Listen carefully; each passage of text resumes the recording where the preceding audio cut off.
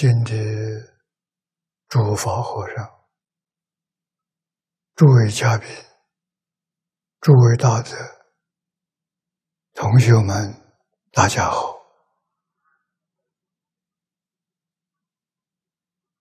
今天我们在此地举行二零一九年己亥。中原祭祖、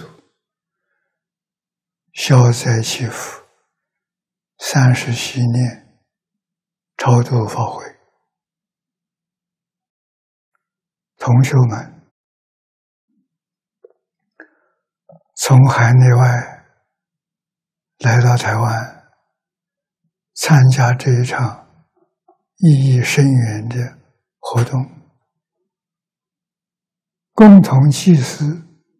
缅怀我们的历代祖先，这确实是非常殊胜的因缘。这次活动包括三十七年和祭祖大典。今天是新年法会的第一天，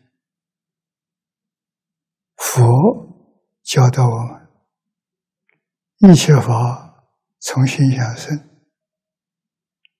虚空法界是因念心所变现的，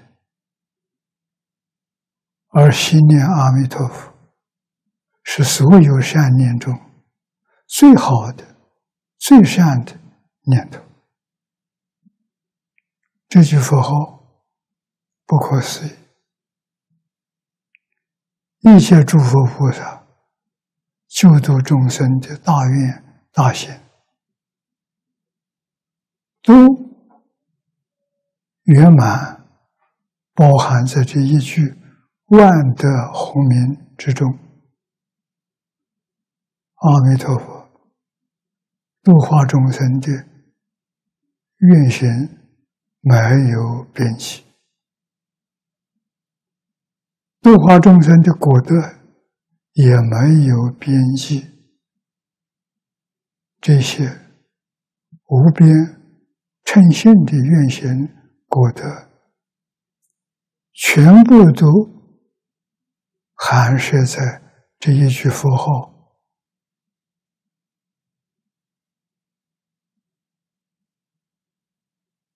所以，今天。我们真诚的称念这一句阿弥陀佛名号，就能诠释佛果地圆满的功德，为自己的功德，积修结果，灭除重罪。福慧增长，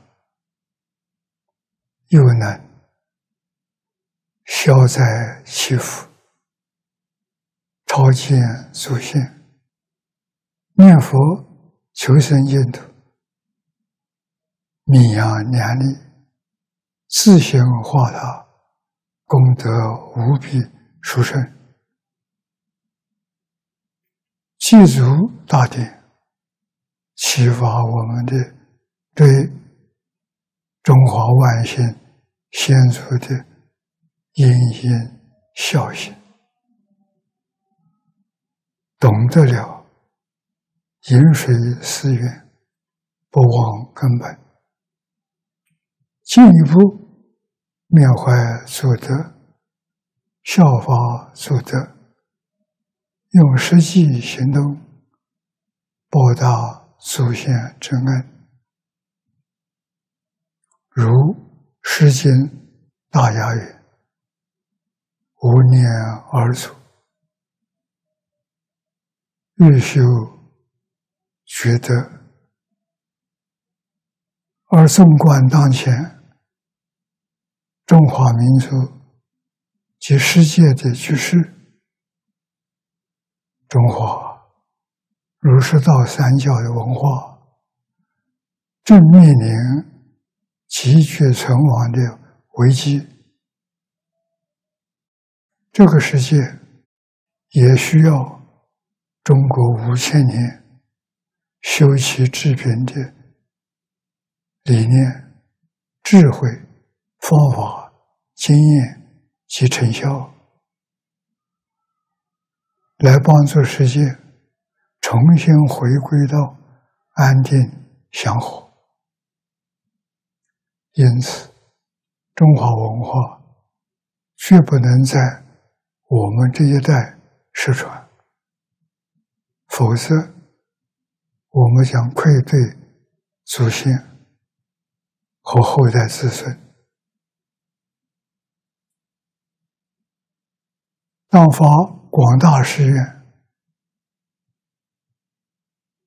以祖宗之心为心。以佛菩萨之心为心，直下成道，为民族文化承传，为全球人民幸福，为正法久住而精进不懈，如梦似愿。当今之事，舍我其谁？以回报祖宗之深恩厚德，以尽地球人之道义，以尽佛弟子之责任。客观而言，早年生长在台湾的。这些老一辈的人，他们都接受了中华文化很好的熏陶，从家乡、学校到社会教育，多少父母、老师、官员、志士、人人。提高深大德都在持续努力。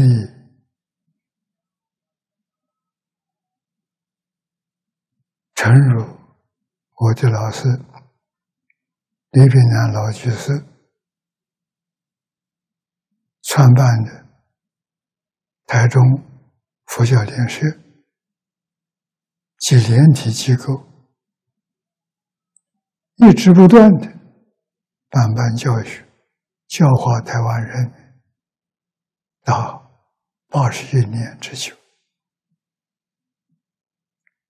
到目前，徐新明老师已是九十二岁高龄，还坚持一星期讲三次课。秉承李老师。未改先禅日，全年安乐人。但能光照眼，不惜自分身的奉劝精神。李老师培养出来的这许多学生，都在不同的领域做出重大的贡献。如在佛教界，沉传律宗的国清法师，在艺术界行菩萨道的江一之老师，在教育界成功兴办传统文化。一条龙教育的连淑梅老师等等，净空与台湾同学也一起学习佛法及中华传统文化达六十年之久，台湾人民应该好好珍惜。佛菩萨及中华祖先给我们的恩泽和福音，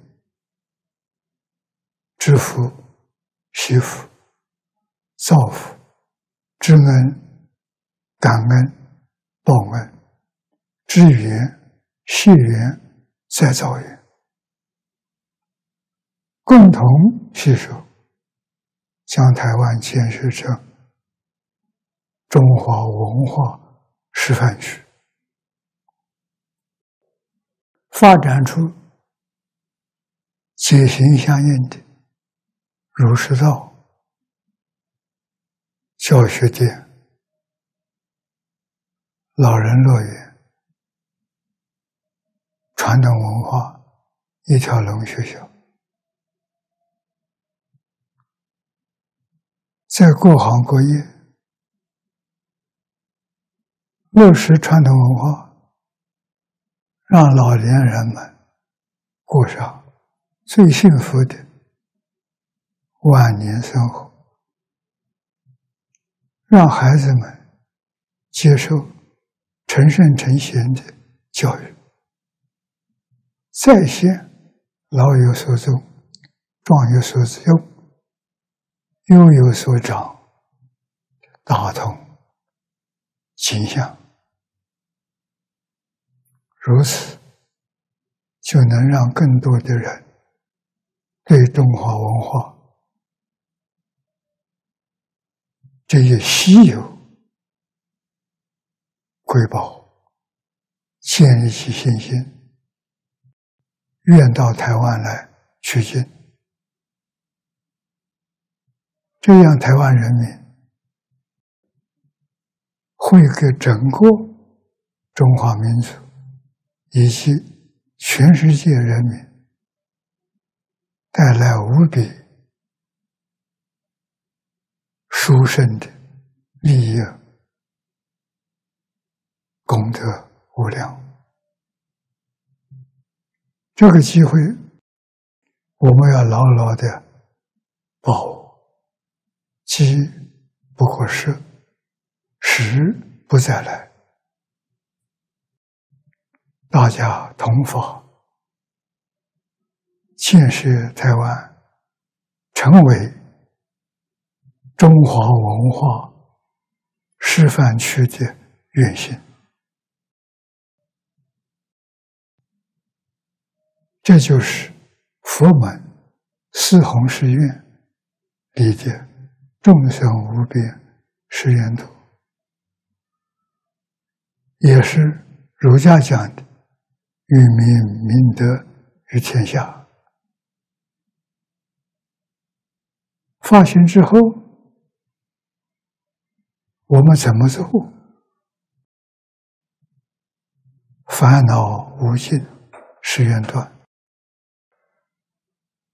也就是儒家讲的“格物”。与自己的物欲习气格斗。我们最大的习气是什么？对人没有真诚心，没有恭敬心，跟人相处表现出自私自利、公共傲慢，习惯了抱怨。指责、不耐烦、不能包容，这些问题的根源来自于我们对父母就没有恭敬心和感恩心。无量寿经教导我们要当孝顺、至诚。忠心、孝敬，告诉我们：爱亲者不敢侮于人，敬亲者不敢慢于人。真正有孝心的人，对人都是真诚、恭敬的。凡往。菩萨戒经》讲到孝顺至道之法，孝名为戒，业名知止。孝顺心提起时，就能防止身口意三业的罪过。所以，各物从根源处下功夫，是能克除对待父母的种种不孝行为。进而恢复父子有情的本有天性，能将这一份情爱延伸到爱一切众生，以圆满自己所发的大愿。如《论语》中说。所教导的，君子务本，本立而道生。我们所发的愿，要真正把它落实在生活、工作、处事、待人接物中，这样才无愧于诸佛菩萨。万幸先祖，全球人民及全人类的后代子孙，并将所有的功德回向求生净土，尽此一报身，同生极乐国。最后，祝福在座的诸位法师大德。同学们，身心健康，六世吉祥，祝福中华传统文化全面复兴，造福人类，祝福世界和平，盛世大同。谢谢大家。